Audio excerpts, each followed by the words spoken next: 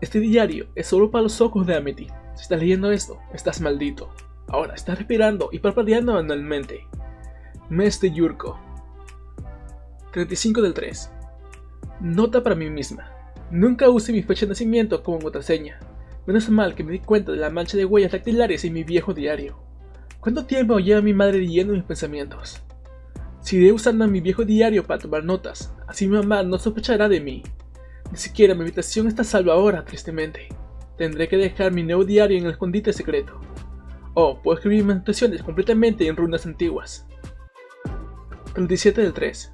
De repente, el aquelarre del emperador refuerza la seguridad de Bosburgor. Se corre la voz de que un peligroso criminal anda suelto.